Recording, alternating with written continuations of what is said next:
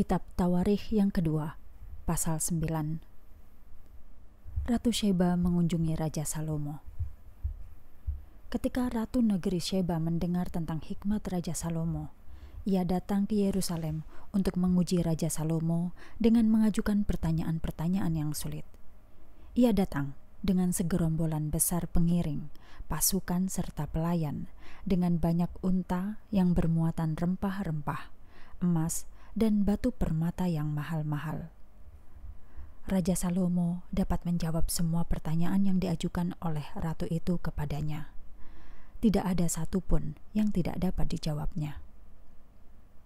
Betapa heran dan kagumnya ratu dari Sheba itu melihat segala hikmat Raja Salomo yang begitu besar, istananya yang begitu indah, makanan yang dihidangkan di atas mejanya, tata kerama para pegawai serta pelayannya dengan pakaian mereka, para juru minumannya dengan pakaian mereka, dan banyaknya kurban bakaran yang dipersembahkan di rumah Tuhan. Akhirnya ratu itu berkata kepada Raja Salomo, Apa yang kudengar di negeriku tentang engkau dan hikmatmu ternyata benar semuanya. Sebelum aku menyaksikan dengan mataku sendiri, aku tidak mau percaya. Tetapi ternyata semuanya benar hikmatmu bahkan jauh lebih besar daripada yang pernah kudengar. Berbahagialah orang-orangmu ini, karena mereka melayani engkau dan dapat selalu mendengarkan hikmatmu. Terpujilah Tuhan Allahmu, betapa ia mengasihi Israel, sehingga ia mengaruniakan kepada mereka seorang raja yang adil dan benar seperti engkau. Ia menghendaki agar mereka menjadi bangsa yang besar dan kuat selama-lamanya. Lalu ratu itu memberikan hadiah kepada Raja Salomo berupa 120 talenta atau 4080 kg emas dan banyak sekali rempah-rempah yang bermutu tinggi dan batu-batu permata yang sangat berharga. Sesungguhnya Raja Salomo tidak pernah lagi menerima rempah-rempah seperti yang diberikan oleh Ratu Negeri Sheba itu. Para awak kapal Raja Hiram dan Raja Salomo yang membawa emas dari Ofir juga membawa kayu cendana dan batu-batu permata yang mahal-mahal. Raja Salomo menggunakan kayu cendana itu untuk membuat anak tangga bagi bait Allah dan istananya, juga untuk membuat kecapi dan gambus bagi para penyanyi. Belum pernah ada peralatan musik yang sedemikian indahnya di seluruh negeri Yehuda itu. Kemudian Raja Salomo juga membalas pemberian Ratu Sheba dengan hadiah yang jauh lebih besar, ditambah dengan segala sesuatu yang diminta ratu itu. Lalu ratu dari negeri Sheba dan para pengiringnya pulang kembali ke negeri mereka. Kekayaan Raja Salomo setiap tahun Raja Salomo menerima emas sebanyak 666 talenta atau 22.644 kg.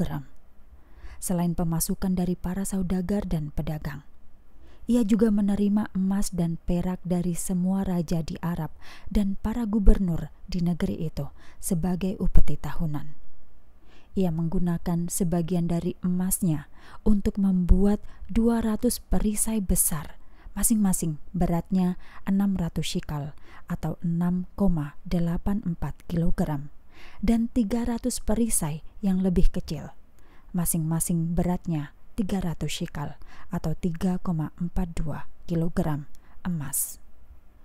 Raja Salomo menyimpan perisai-perisai itu di suatu bagian istananya yang disebut Gedung Hutan Libanon. Ia juga membuat tahta besar dari gading yang dilapisi dengan emas murni. Tahta itu mempunyai enam anak tangga dari emas dan tumpuan kaki dari emas. Tumpuan lengannya juga terbuat dari emas, dengan dua singa-singaan dari emas pada kedua sisinya juga dibuatkan dua belas singa-singaan yang ditaruh pada sisi anak tangga. Setiap anak tangga diapit oleh dua singa-singaan. Belum pernah ada takhta yang dapat menyamai takhta itu di kerajaan mana pun di dunia ini.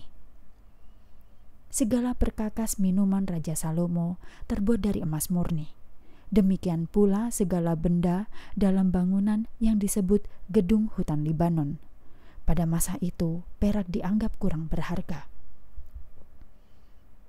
Tiga tahun sekali, Raja Salomo mengirimkan kapal-kapalnya ke Tarsis dengan mempekerjakan awak kapal yang disediakan oleh Raja Hiram untuk membawa emas, perak, gading, kera, dan burung merak kepada Raja Salomo.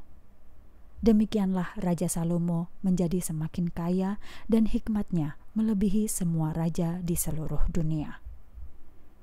Raja-raja dari setiap negeri datang berkunjung kepadanya dan mendengarkan segala hikmat yang ditaruh Allah di dalam hatinya. Mereka datang dengan membawa upeti tahunan kepadanya, berupa barang-barang perak, barang-barang emas, pakaian, senjata, rempah-rempah, kuda, dan bagal. Selain itu, Raja Salomo juga memiliki 4.000 kandang untuk semua kuda dan keretanya, serta 12.000 orang berkuda yang ditempatkan di kota-kota penyimpanan kereta dan di Yerusalem untuk melindungi raja. Ia memerintah atas semua raja dan kerajaan, mulai dari sungai Efrat sampai ke negeri Filistin, bahkan sampai ke perbatasan Mesir.